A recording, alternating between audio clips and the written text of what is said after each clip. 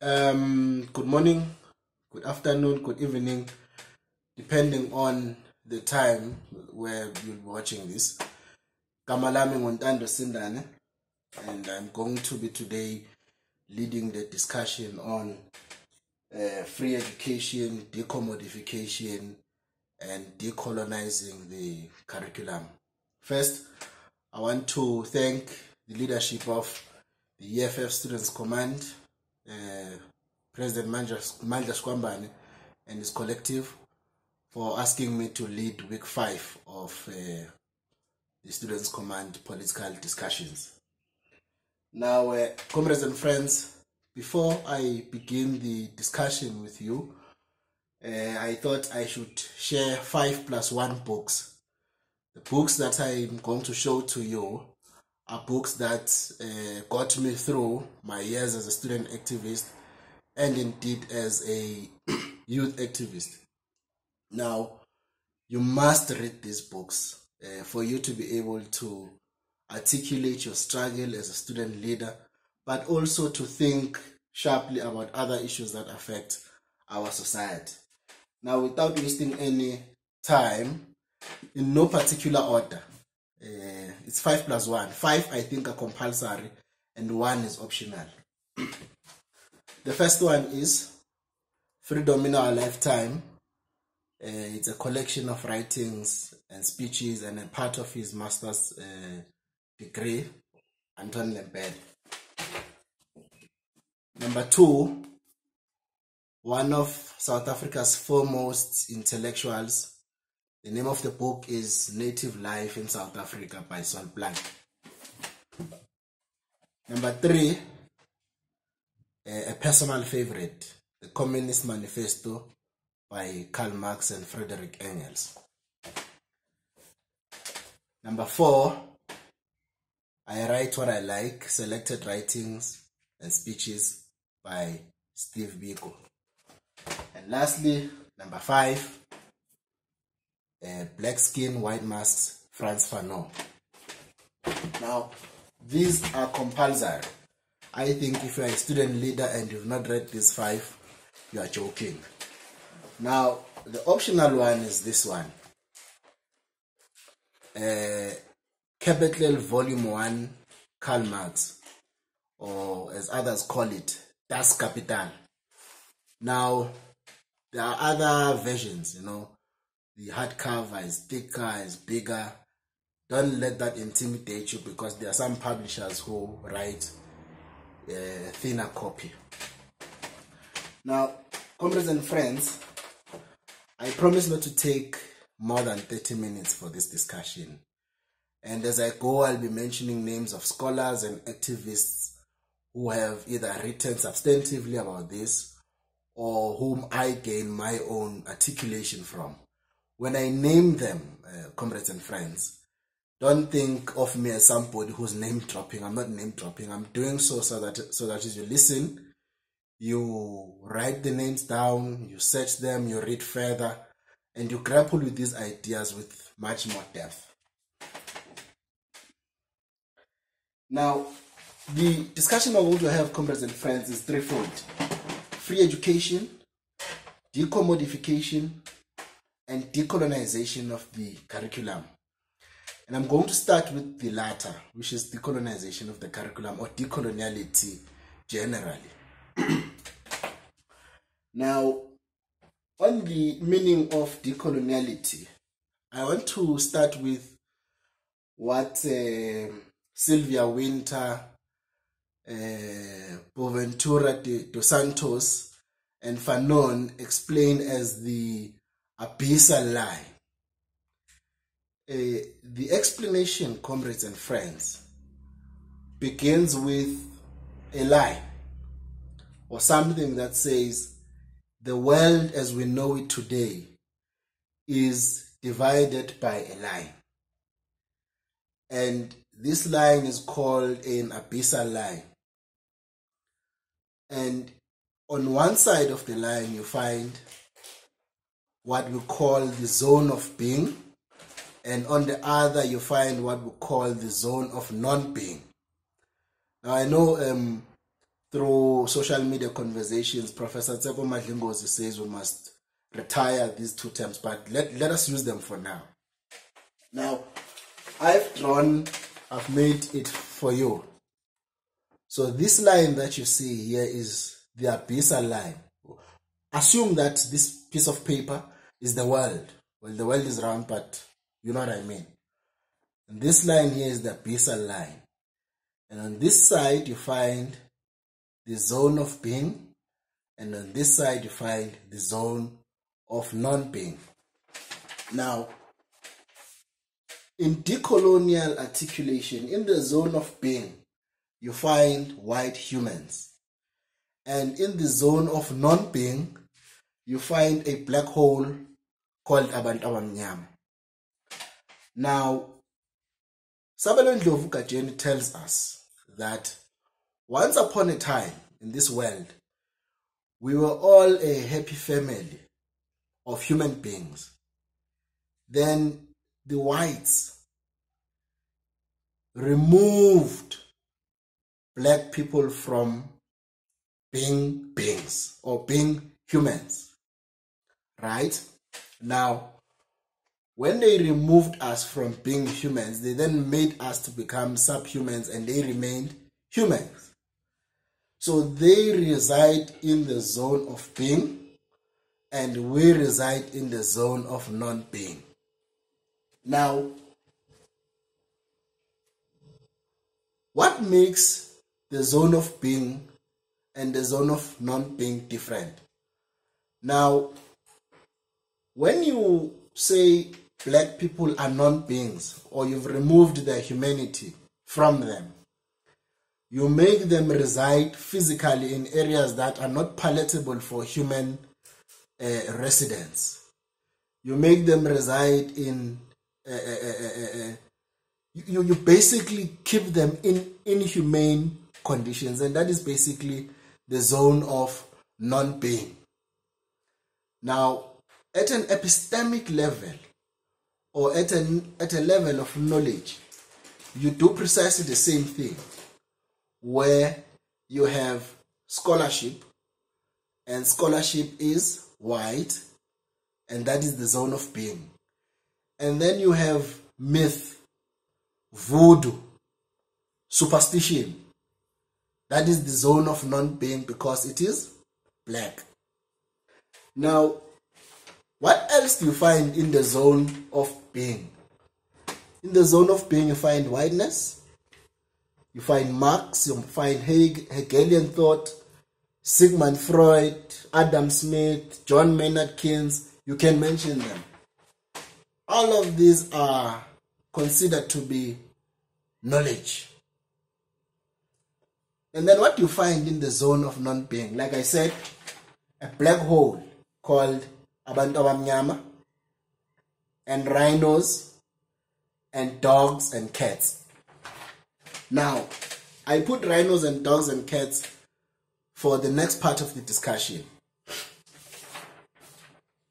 The point of decolonization is to remove the abyssal line. Right?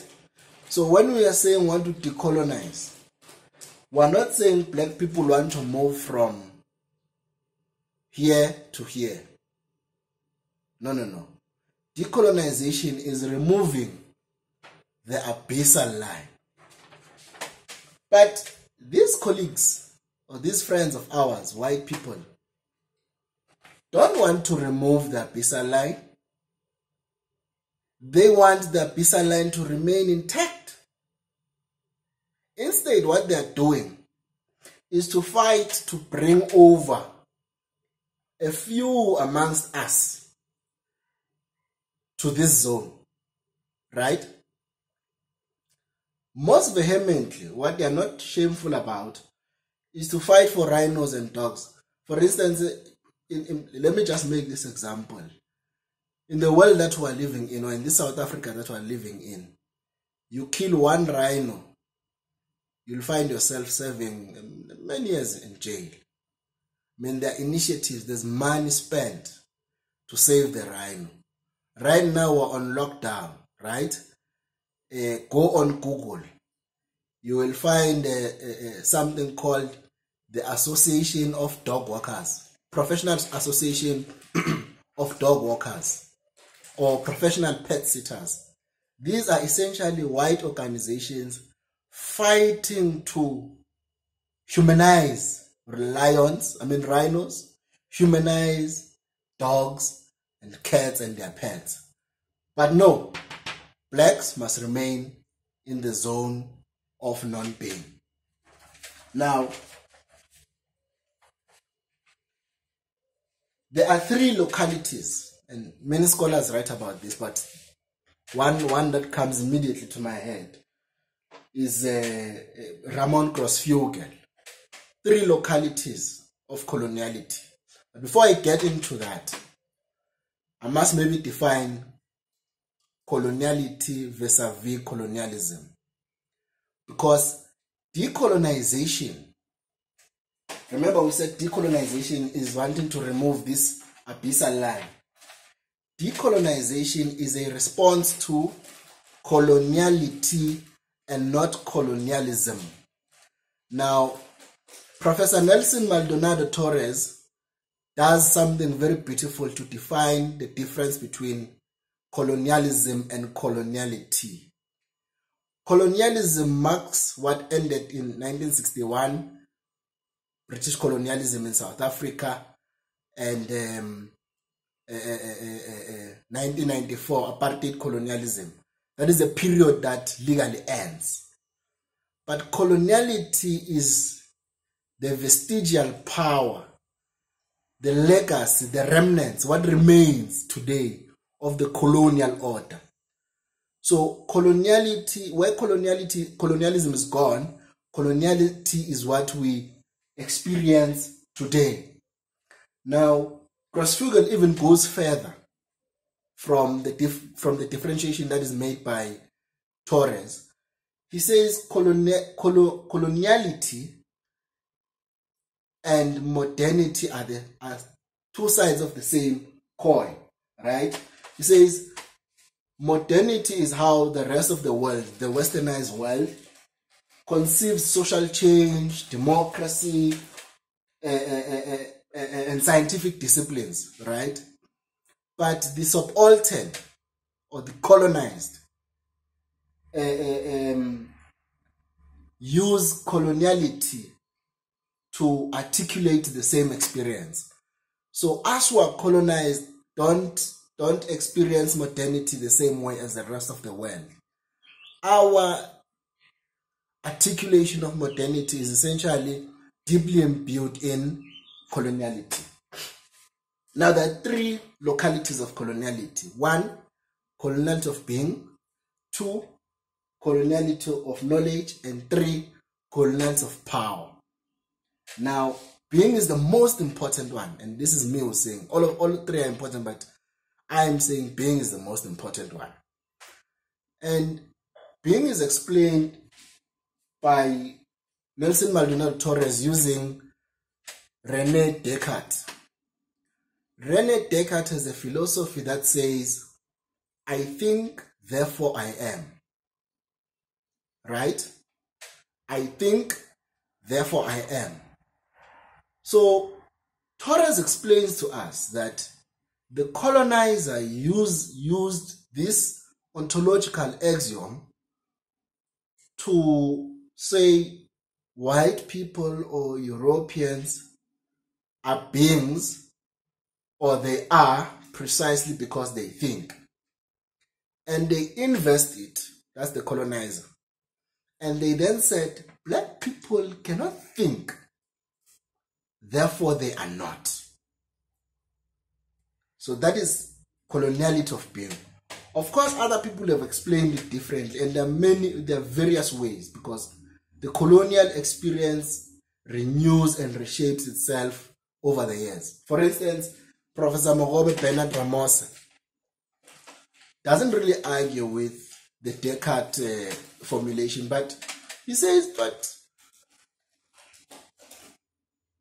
Aristotle, Plato, and uh, uh, Socrates had many conversations and debates amongst themselves throughout the span of their lives.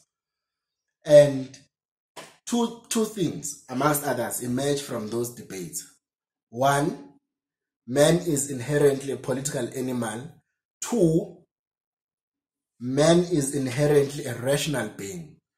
Now, Professor Ramose then says the latter one, which says man is a rational being, was then used, right, to say we Europeans are rational beings, but Africans are not rational beings.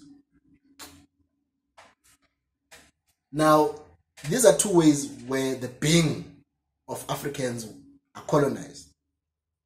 Why was it important for the colonizer to make these expansive arguments? Because the colonizer realized that you can't subjugate a human being. Before you subjugate or you colonize a human being, you need to dehumanize him. You need to other him. He must be the other. You must uh, must make him a thing. You must thingify. I think Professor Ndlovu Gatsheni uses that one a lot. Or Anibal Quijano and Walter Mignolo. You must thingify. You must make them things. So black people then became things, became objects. They became the non-being. Right? So that is the coloniality of being, which exists today. I, I, I made an example of dogs and rhinos. 32 black South African workers were killed 2012 there was an uproar for a few minutes and it died down, right? Andries Tatane was killed. Uh, of close to 300 mentally ill patients in Life Esidimeni two or three years ago were killed for profit. There was also an uproar, but were forgotten. Now, Julius Malema says this a lot. Kill just a white hobo in Marshalltown Johannesburg, just one white hobo. The rent will plummet. There'll be sanctions. You know, the, the whole world will remember. That's precisely because the black body, and I know Prof. Madlingozi also doesn't like black body, but we'll use it. The black body today, in this democratic South Africa, in this modern world, is still a non-being. Now, I'll just touch briefly on knowledge. Coloniality of knowledge, use the same no, uh, logic on coloniality of knowledge and coloniality of power. Coloniality of knowledge brings in or wants, wants us to question knowledge. How is knowledge created? Who creates this knowledge? For what purpose is this knowledge being created? Uh, um, in, in, in decolonial studies, Ndlovu Gatsheni also touches heavily on this to say the knowledges that have been created post the colonial period serve not to liberate the black community or the subaltern or the othered or the zombies of the world, but it serves to further entrench or to deepen their um, situation. That is coloniality of knowledge. Coloniality of power speaks to institutions of power in the world. How these institutions, post democracy, continue to entrench the abyssal line. Think of, for instance, uh, our South African courts. You know, how South African courts or how South African legal system protects heavily property rights. You know, who owns property? post 1994. It's white people, you know. But when it comes to a, a socio-economic justice, when it comes to social justice, institutions of power such as the court, such as parliament, uh, continue to entrench uh, our colonial reality. Uh, globally, the, the, the, same is this, this question is the same Because look at IMF, for instance, and World Bank over the past 10 to 30 years. Who are they funding? For what purpose are they funding? And what do they do uh, post their funding? I'm rushing, comrades and friends. Uh, now, uh, Professor Sabelo Ndlovu assists us to point out it's not really like the Communist Manifesto, to point out the tasks of decolonization.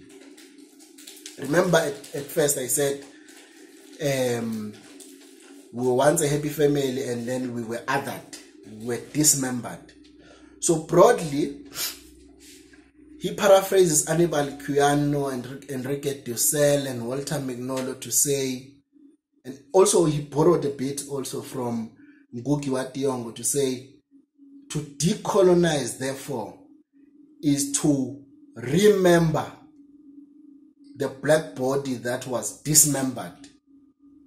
Right? So, I said uh, decolonization is not about the non being moving to this side, but it's about removing this line. Because we want to remember, we don't want to keep imingele that exists. So remember that or recall that decolonization means to remember the dismembered. Good. Now, he guides us. He gives us 13 Ds, the 13 Ds of decolonization. And I won't comment on all of them for the sake of time. One is depatriarchalization. Hmm? Patriarch, now, number one. Two, debourgeoisification. That's number two. Three, detribalization. Yonke lento yabomkoni mkoni must come to an end. Four, de-imperialization, the fight against imperialism. Five, which is, I mean, uh, six rather, I wrote a book on this, deprovincialization, Sabelo Ndlovu Gatsheni, 2019. Number seven, deperipherization, moving those who are in the periphery to the center and destroying the periphery. Number eight, demystification. Number nine, decommodification, which we're going to discuss shortly. Number 10, decommissioning. Number 11, democratization. Number 12, deborderization. And this is an this is the agenda of the EFF, deborderization, removing borders everywhere where exist, not just the physical borders, but also epistemic borders. 13, deracialization. So those are the 13 Ds of decoloniality. Now, comrades, I will quickly say two or three things about free education and decommodification. Now, on decommodification, uh, I won't waste much time, but go to the discussion that was led by uh, Comrade, I mean, Commissar Ndlozi, uh, when he explains how Karl Marx explained what a commodity is. Now, when the must fall generation was saying education must be decommodified, what they or what we, because I was part of them, what we meant is education must not be something that is sold, must not be a commodity. Because a commodity is something that you package and you sell for profit. Now, the generation of fees must fall students studied this question and they said to each other that in fact we can't have a situation where something that is so important for societal growth and development falls within capitalist reasoning and logic, which is profit. Because currently, and, and, and I, I'm an I'm an emerging researcher and academic. I hate saying this, but it's, it's the truth. Currently, what you have, institutions of higher learning are, are not different from supermarkets. Because institutions of higher learning sell education. So when you are there, You are not there to learn. You are not there to grow. You are not there to be educated in the truest sense of the word. But you are actually there to buy a piece of paper, which is a degree or a diploma or a certificate, whatever the case may be. Now, decommodification, therefore, has to do with removing the profit aspect of education. Now, the last point, and I'm going to close on this one free education. You know, my my friend and comrade, comrade Mpho Morolane, was the inaugural president of the uh, EFF Students Command. And during Fees Must Fall, he made a proposal that, uh, I mean, were protesting, so government had to listen. That um, they, they asked him, how are we going to fund this free education? And he said, there should be a, a, a tax, you know, there should be a special tax for education. And uh, of course, it was not a sellout position, it was our position. We discussed it. But with the benefit of time and the benefit of hindsight, we now know that that was a very short sighted position. That was an opportunistic position. And, and given the, the politics of the day, we had to say something, right? But now, when we sit and discuss this, we realize that there can never be anything called free education in a capitalist society. Because in a capitalist society, education is inherently a commodity. Which then means that for us to achieve free education, we must first attain socialism in our lifetime.